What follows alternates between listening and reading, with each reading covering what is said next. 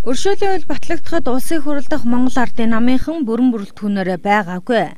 Харин батлагдсны дараа тэд өршөөлийн үлийг эсэргүүцэж байгаагаа илэрхийлсэнийг эргээд нэг санацгаая. Харамсалтай нь хилэлцүүлгийн явцад ардс намын бүлэг, шударга сэвслийн бүлгийн одоо саналаар албан тушаалын гэмт хэрэгтнүүд аюулгал хээл хавал авсан улсуудыг бас хамтруулж, хамруулж өршөхөр болж байгаа нь бол буруу гэж Монгол ардын намын бүлэг үзэж анхны хилэлцүүлгийн үед одоо эсэргүүцэж байнгын хороо чуулган дээр саналаа хэлж байсан.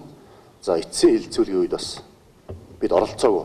Гэвл мэдээлэлээр ярьж байгаа Монгол Ардын намынхан энэ өршөөлийн хууль хамрагдах гэж энэ өршөөлийн хуулийг дэмжлээд алдуур энэ төр. Тийм байхгүй. Сая бүлгийн дарга хэлдэ бид бол эхнээсээ байр сууриа илэрхийлээд энэ асуудлыг намрын чуулган хүртэл завсарлага аваад ингэ явж исэн харамсалтай нээлж тусаар оруулж ирлээ. Ер нь эндээ хүрч байгаа бол Монгол хувь тааж байсныг хэрэггүй, төртөж байсныг хэрэггүй. Бүгдийн татан буулгах хэрэгтэй ийм ялдарсан гэгээ хувилдаа явж байгаад харамслал илэрхийлж За тэгвэл одоо Монгол Ардын намын бүлгийн гишүүд эсэргүүцэж байсан хуулиа залруулах боломжийг ерөнхийлөгч олголоо. Хоргийг хуулийн ёсороо улсын хурлын гишүүдийн 3-ны 1 нь буюу 26 гишүүн дэмжсэн тохиолдолд хүлээн авдаг.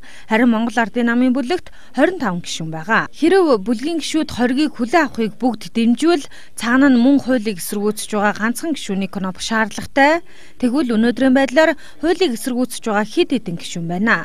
Тухайлбал улсын хурлын гишүүн уянга бие даагчдын зарим төлөөлөл бий. Дээр нь нэмэгдээд хууль батлагдах үед эсрэг кноп дарсан ардчилсан намын гишүүн Тэмүүжин Эрдэнэт төвдөнд орж тэргүүтээ 5 гишүүн байгаа.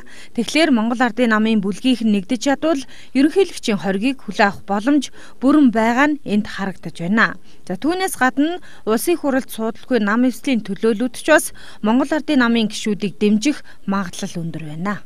Ерөнхийлөгчийн хоргийг бол үнэхээр шудраг ёсыг эрхмэлдэг. Ард түмний төлөөлөл гэж өөрийгөө боддог. Тангараг өргөсөн ийм улс төрчд ийм одоо улсын хурлын гишүүд бол дэмжих ёстой.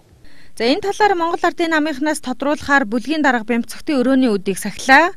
Тэрээр хэдийгээр өрөөндөө байсан ч албан ёсны байр сууриа илэрхийлэхээс татгалцсан юм а. Шалтгаан нь ээлж тус чуулган зарлагдаагүй байгаа учраас бүлэг хуралдах боломжгүй.